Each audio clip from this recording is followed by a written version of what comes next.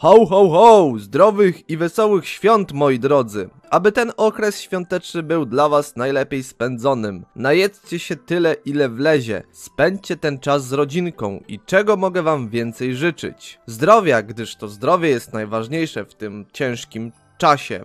Gdyż jest zima, chociaż to jest coś ala zima, bo raz jest śnieg, a następnego dnia śniegu nie ma i człowiek niestety nie wie jak ma się ubrać, bo raz są temperatury na plusie, a raz na minusie. Ale dobra, do rzeczy. Przychodzę do was dziś z świątecznym odcinkiem specjalnym. Pierwotnie miał on pojawić się 24 grudnia, czyli wczoraj, ale wlatuje on dzisiaj gdyż chciałem dać sobie troszkę na luz i odpocząć. Nie będzie to długi odcinek, więc nie nastawiajcie się na jakiś długi seans. Skoro formalności mamy za sobą, to jedziemy z tym koksem. Jest wiele kreskówek, które dostało tak zwane odcinki specjalne. Odcinki specjalne, które zwykle są związane z czymś wyjątkowym. Takie kreskówki jak Johnny Bravo, E.T. Yedi, Dom dla zmyślonych przyjaciół pani Foster, czy też Mroczne przygody Billego i Mandy dostały swoje świąteczne specjalne odcinki. Wiem, że dla niektórych może być to abstrakcja, ale ubolewam troszkę nad tym, że totalna porażka nie dostała nigdy takiego specjalnego odcinka, wychodzącego troszkę przed szereg. Oczywiście uspokoję wszystkich piejących w komentarzach, bo już wam wytłumaczę na czym polegałaby tak zwana geneza tego specjalnego odcinka. W mojej głowie powstał taki scenariusz, że nie byłby to odcinek, gdzie byłyby jakiekolwiek eliminacje, tylko byłby to odcinek coś ala 26 z pierwszego sezonu. Z tym, że nasi ulubieńcy z pierwszej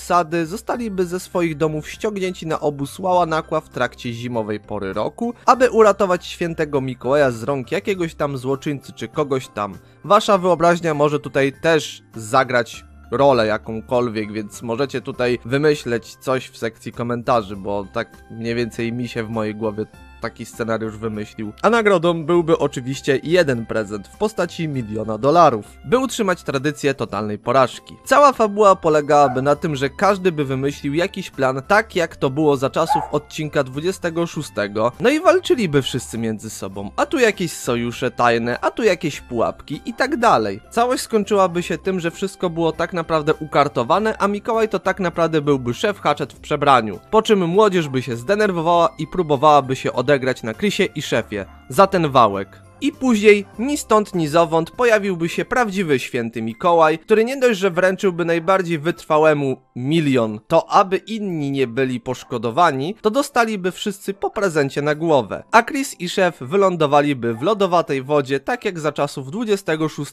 odcinka. To był mniej więcej mój pomysł na takowy specjalny odcinek. Aczkolwiek pozwolę wam się wykazać w sekcji komentarzy, co wy o tym sądzicie lub ewentualnie jaką wy fabułę byście do takowego odcinka wymyślili. To tyle. Jeszcze raz zdrowych i wesołych świąt Bożego Narodzenia.